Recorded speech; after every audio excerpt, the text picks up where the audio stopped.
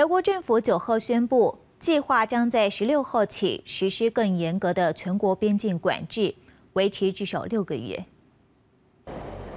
九月十六号开始，德国将实施新的、更严格的边境管制措施，包括已在部分边境设置的检查将扩大，更具体的采取行动，加强国内安全。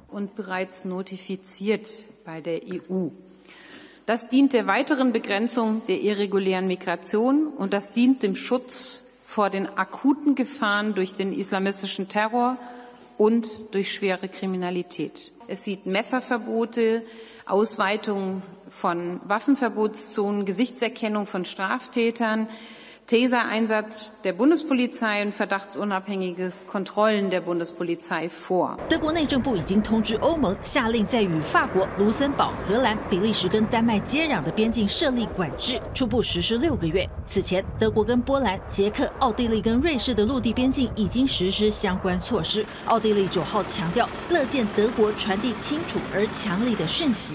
Dann soll das mir recht sein und ich bin nicht überrascht davon. Und ich habe aber auch klar gesagt, diesen Pflock habe ich auch eingeschlagen, dass wir hier niemanden zurücknehmen, der illegal zurückgewiesen wird. Das ist hier ganz klar von meiner Seite. Hier gibt es null Spielraum aus österreichischer Sicht. 德国与附近邻国边界三千七百公里，新边境管制措施可能牵一发动全身，会是对欧盟深根区团结的大考验。自去年十月至今，德国已拒绝超过三万人入境。近年来，抵达德国的非法移民人数暴增，尤其许多是为了躲避中东战火以及穷困的人。上个月，在西部城市索林根持刀攻。及事件造成三死，嫌犯为非法入境的叙利亚人。公视新闻黄月玲编译。